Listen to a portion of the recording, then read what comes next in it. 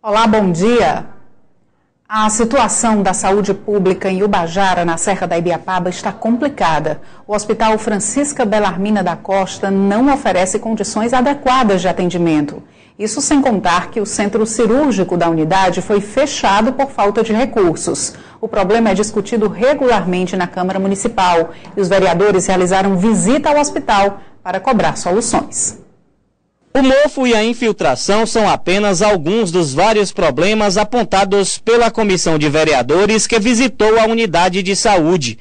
O estado de conservação do equipamento é de abandono. Instalações elétricas e hidráulicas de maneira inadequada, equipamentos enferrujados, piso, portas e janelas destruídas. O centro cirúrgico foi desativado.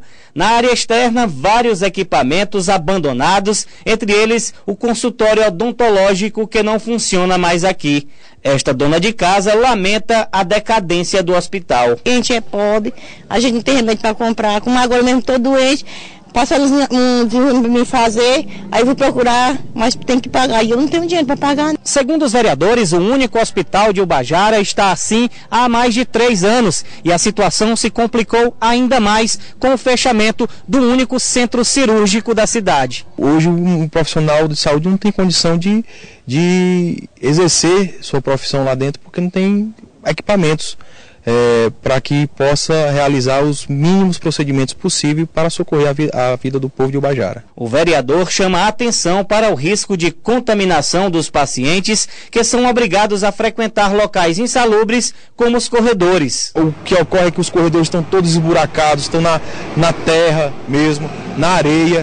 E, e o que é que acontece? Isso junta bactérias. O presidente da Câmara de Vereadores de Ubajara afirma que ações já foram realizadas no sentido de cobrar providências da atual gestão, mas até o momento nenhuma delas foi atendida. A gente, como parlamentar, já vem há três anos a gente cobrando, cobrando sessão por sessão, é, toda semana, todo dia a dia, e nada de resposta positiva é, por parte do prefeito. A secretária de Saúde de Ubajara alega a falta de recursos financeiros para realizar a reforma da unidade. A receita mensal de transferências federais para o bloco de média e alta complexidade, que é para o hospital, é de 100 mil reais. E só a folha de plantões médicos em torno de 80 mil mês.